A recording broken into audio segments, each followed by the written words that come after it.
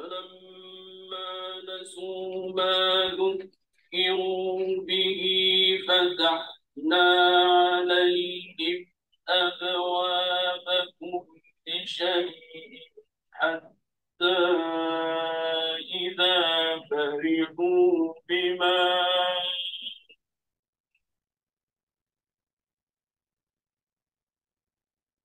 حتى إذا فرحوا بما أخذناهم بغتة فإذا هم مبلسون فقطع دابر القوم الذين ظلموا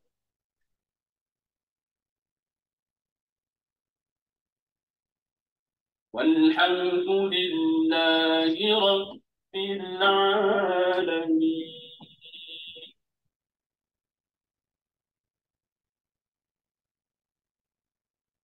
بسم الله الرحمن الرحيم. الحمد لله الذي أنزل على عبده الكتاب ولم يجعل له عوجا.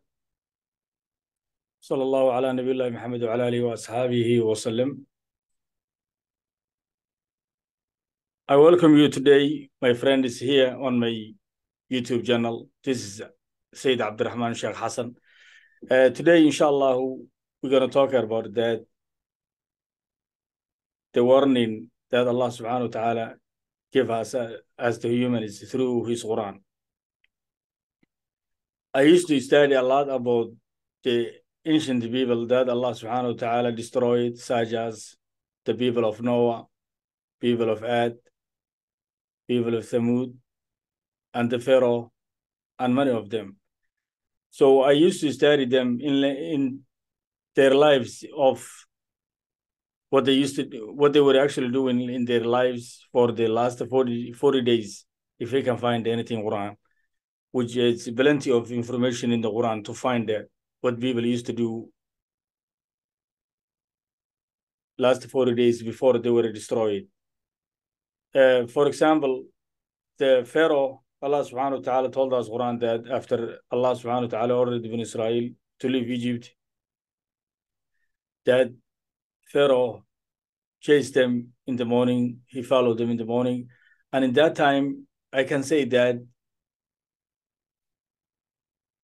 in in in Surah Al-Shu'ara, uh, Pharaoh was making a lot of threats uh, against the children of Israel, like uh, calling them weak people, and he called himself as the most powerful. God, they gathered them.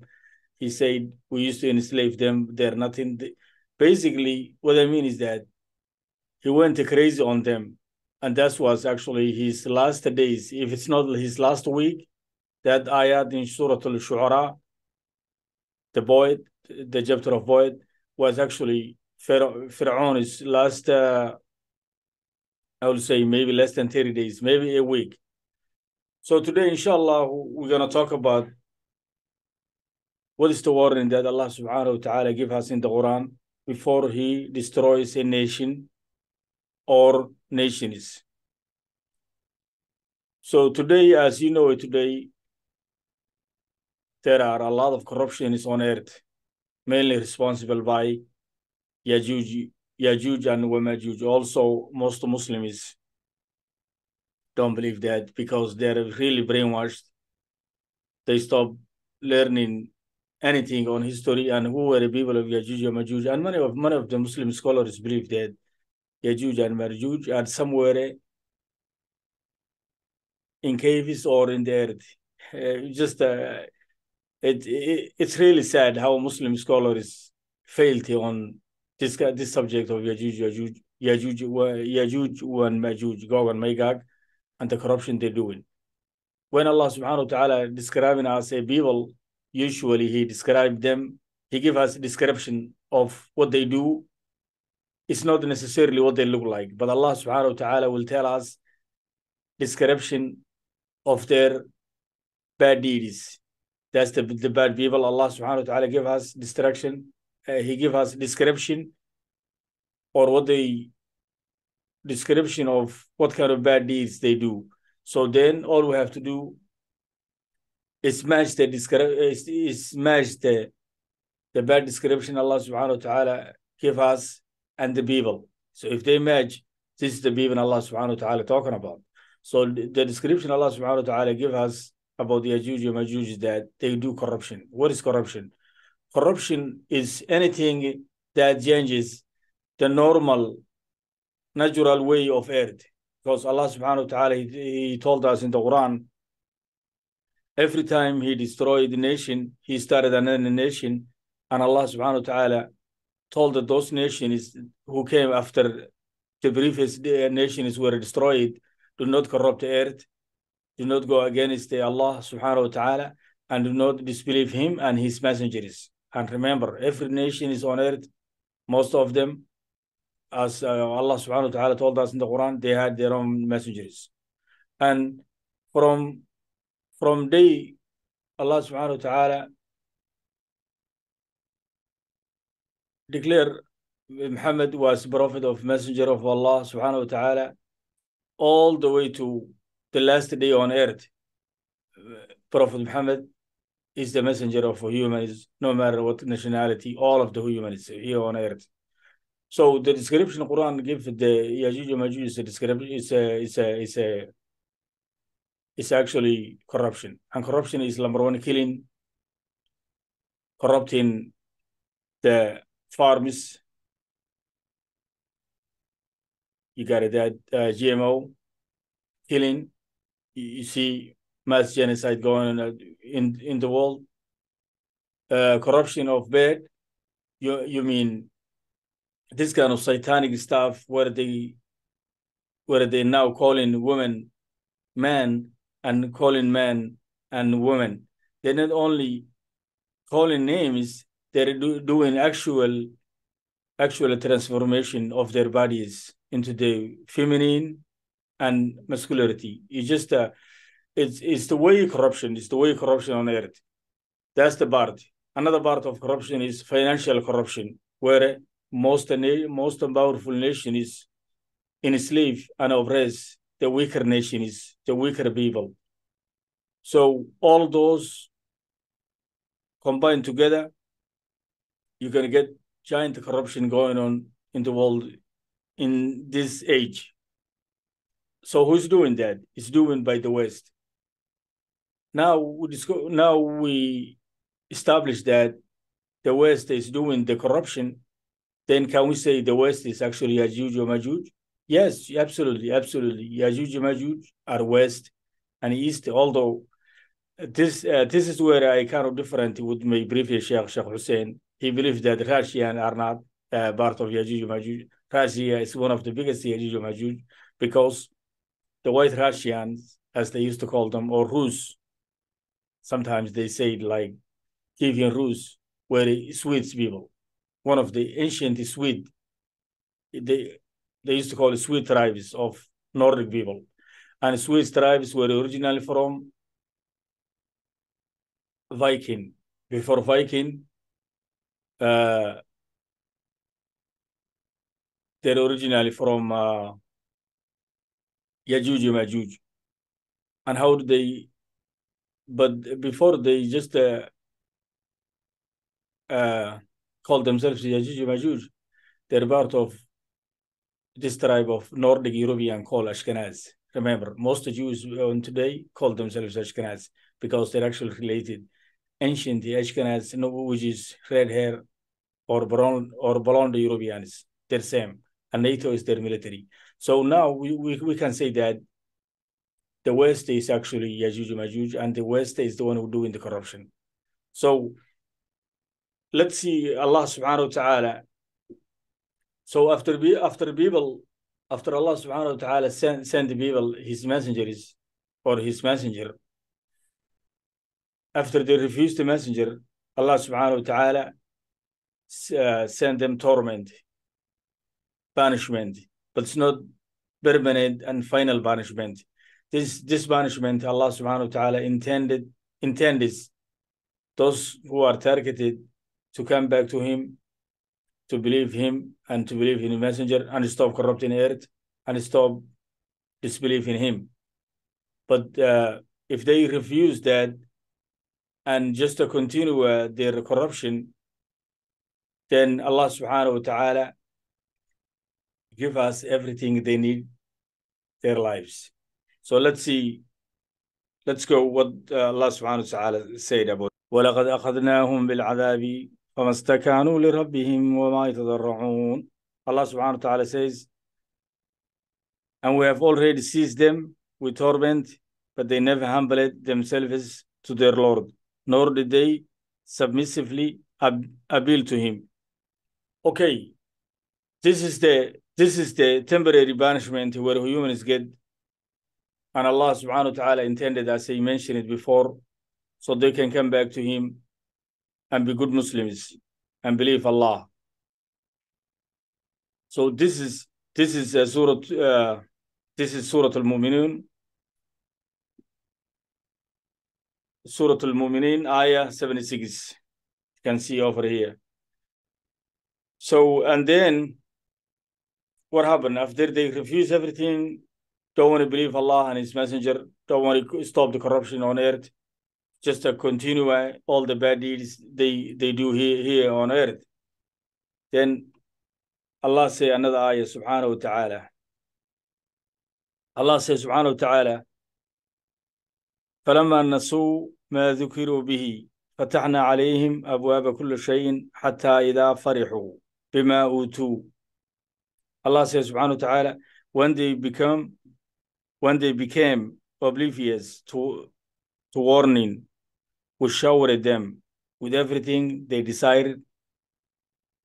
But just as they grateful okay Allah subhanahu wa ta'ala basically saying after they reject the religion of Allah and continue the corruption and they don't want to believe it anymore Allah subhanahu wa ta'ala give them everything they need here on earth. Do what Allah subhanahu, subhanahu wa ta'ala said. He said, He says, فتحنا عليهم. We open them. أبواب كل شيء, The gates, the doors of everything, the world, the technological advance, the the advancement of anything of their societal relationship, even their corruption becomes so advanced. They do everything they want. They can even create a fake pandemic and call real one. And remember, hadith of Prophet Muhammad sallallahu uh, the name of the hadith for the pandemic, it's actually plague, but they removed that from the dictionary, so nobody will find will find out. So they just uh, created a new word called pandemic. Okay, so basically, after they reject the deen of Allah, then Allah subhanahu wa ta'ala let them have everything they desire here, here on earth. Everything they wanted. And then after that, Allah subhanahu wa ta'ala says, حتى إذا فرحوا until they became so happy, so over enjoyed, so so prideful.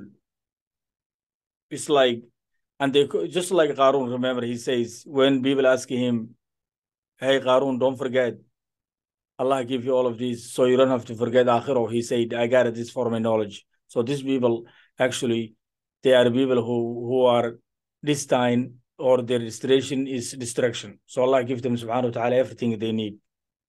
Like I said, technological advancement, wealth, unlimited power. As you know it, the those families who own Western monetary system, like U.S. Federal Reserve or uh, Euros, IMF, World Bank, all of these giant uh, financial institutions, BlackRock, all of these, all of these people, they create money from out of thin air. So basically, like like Allah subhanahu wa ta'ala says in here, Fatahna alayhim. They got open for it every door. The door of creating money out of thin air, the gold, the wealth, everything, everything, everything they need, they were given because their their destination, their destination is destruction. And then Allah says subhanahu wa ta'ala, Farihu. And then after they became overjoyed, it's like crazy, like like they don't believe Allah. They they believe that no humans can stop them. They can do whatever they want here. They call owners of the earth themselves, subhanahu wa ta'ala. Subhanallah. And they forget Allah. They forget Allah. And some of them, they even very close to call themselves Dajjal. And remember, uh, you Muslims, these people are precursors of the Dajjal. These people are soldiers of the Dajjal. I have no doubt in my mind, these people are Dajjal is food, food soldiers. And as you know, it, some of the hadiths, alaihi wasallam, uh, some of the hadith, hadiths from Prophet sallallahu say that Nabi Isa, uh, when Prophet Isa came, when Prophet Prophet Isa, Nabi, uh, Prophet Jesus, uh, Allah, Allah uh, sent him down. There are less and less humans on earth. So we have that today. They have all kind of technologies to destroy the humankind, and most likely, uh, these people, these crazy people who are so happy what they have now will destroy humans. If it's not more than seventy-five percent of humans, that's every four every four people on earth, at least they, two or three of them, just people will kill. Just my opinion, and that's look like that way. So after they got everything, Allah, Allah opened all the gates, even the exploration of space, underseas, everything technological, the medical advancement, where they even talking about creating synthetic life, which is not real life. Synthetic life is shaitan's life. It's basically corruption. It's a big way corruption. And Allah says, subhanahu wa ta'ala in the Quran, those who, uh, those who they worship or anything else, they're not even able to create a smallest bug. So this is all mechanical and synthetic life, nothing real, and it, this is all satanic. It's all lies. It's all delusion. It's all deception. Are you paying attention? What is the name? What, the, do you know the name? The uh, do you know the meaning of the name Dajjal in Arabic? It's a deception. Dajjal means deception. Everything you see today is deceptive. It's a deception. They deceive your eyes. Nothing is true about. So then after that, remember the people we're talking about are the Western. Some extent China, India, or uh, or those people who are Khalij al Arab, like Emirat, that, uh, those areas, they are inter interconnected financially. So after they got everything they wanted, Allah subhanahu wa ta'ala says, and they became happy, remember. بما أوتوا uh, whatever Allah give them, they became so happy. Then Allah says subhanahu wa ta'ala, أخذناهم بغتة and then we seize them suddenly. Do you see that? Allah will seize them suddenly because they forgot everything. They forgot everything. They reject the religion of Allah and they became craziness with their corruption. بغتة Allah says subhanahu wa ta'ala فإذا هم مبلسون then they instantly fell into the despair.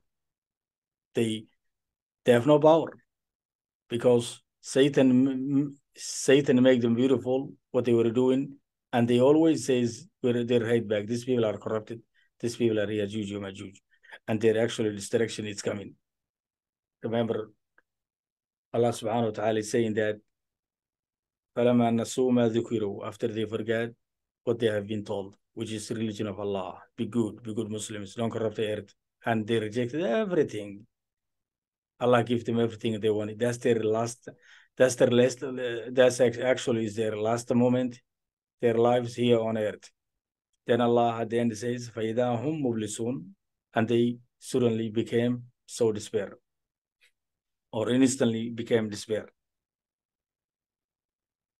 then Allah says subhanahu wa ta'ala فقطع دابر القوم الذين ظلموا then Allah says subhanahu wa ta'ala so the wrongdoers were, were utterly uprooted Allah destroyed them all not even single thing left remember uh, people of Ad the people of Nabiullah uh, Nabiullah Hud alayhi, uh, alayhi salam Allah said, فَهَلْ تَرَى مِنْ بَاقِيَةٍ Do you see any remnant of them? No. Just like that, Allah subhanahu wa ta'ala will destroy them and nothing will be left on them. Then it's very end, Allah says subhanahu wa ta'ala, وَالْحَمْدُ لِلَّهِ رَبِّ الْعَالَمِينَ Allahu Akbar. And the praise is for Allah, Lord of all worlds. Always praise belongs to only true God, Allah subhanahu wa ta'ala, the Rabbi, the Lord of this world. So this ayah, as I said, it's basically explaining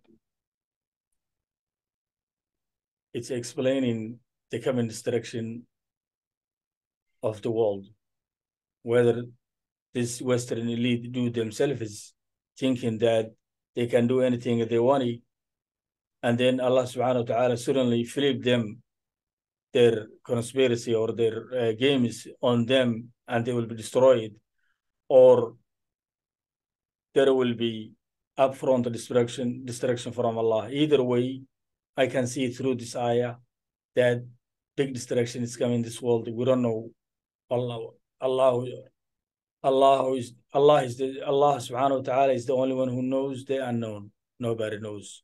But through his uh, ayah, through his sign, through his book, through his Quran, we can learn what's coming.